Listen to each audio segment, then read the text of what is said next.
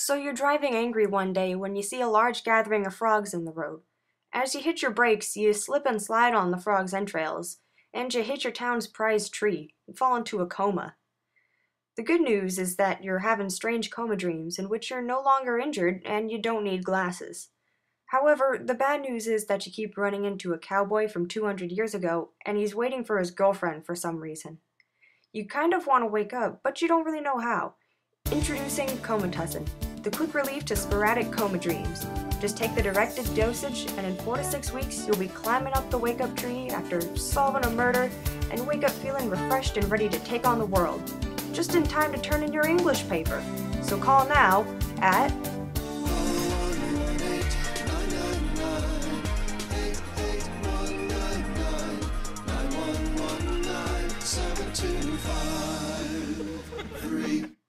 To learn more about coma dreams, read Shades of Simon Gray by Joyce McDonald.